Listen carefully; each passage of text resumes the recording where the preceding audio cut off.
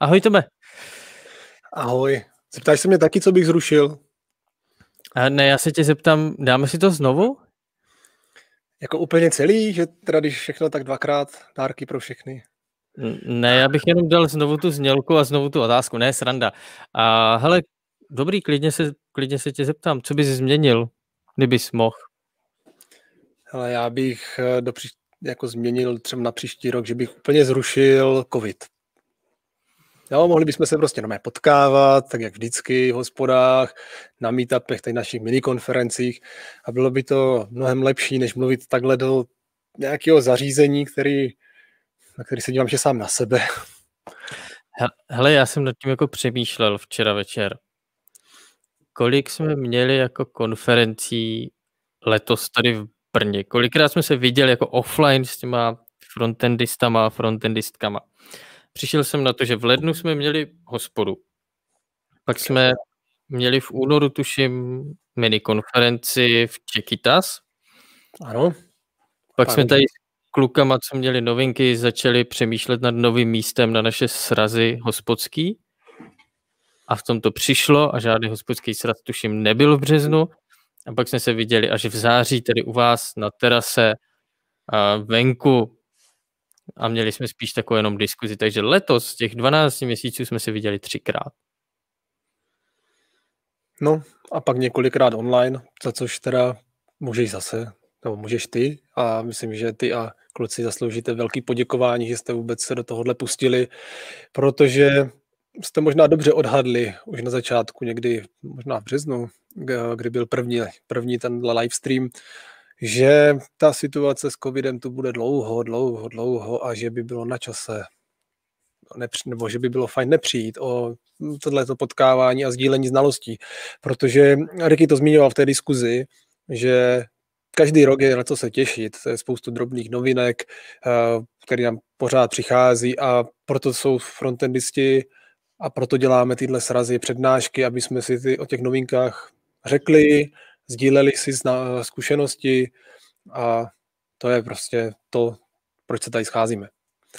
Na druhou stranu díky tomu online jsou tu fakt lidi, kteří by tady s náma asi normálně nebyli.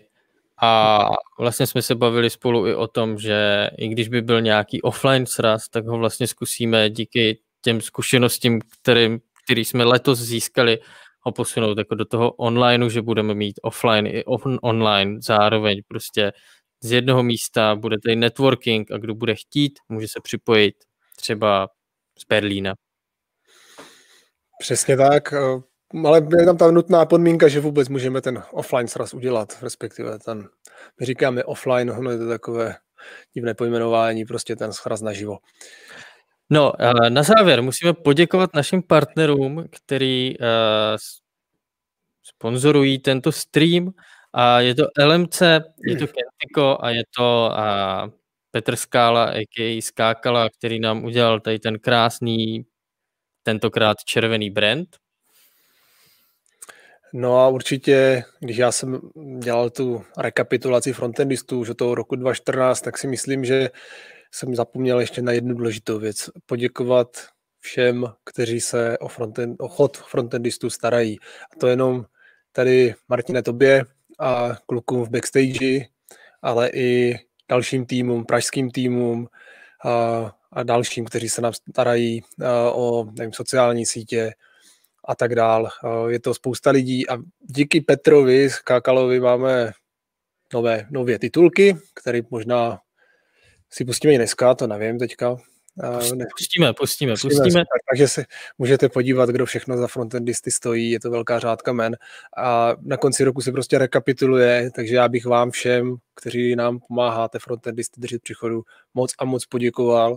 A stejně tak bych moc chtěl poděkovat všem, kteří jsou ochotní si stoupnout před kameru, v tomto roce primárně před kameru, ale vůbec připravit přednášku a zazdílet svoje znalosti a zkušenosti nám ostatním a, a tím vlastně šířit nějakou, a vracet té komunitě něco. A jo, Já s tebou souhlasím a musím zmínit, že ve streamu budeme pravděpodobně pokračovat, pokud se uh, nic nezlepší, jakože já s tím nepočítám. Uh, já jsem si myslel úplně jiné věci, že budou, takže já už radši ne, ne, nepřemýšlím, co bude. Ale napište si do kalendáře, příští stream by měl být uh, tentokrát moderovaný z Prahy, tak jak ten minulý, minulý měsíc a bylo by to 13. ledna 2021.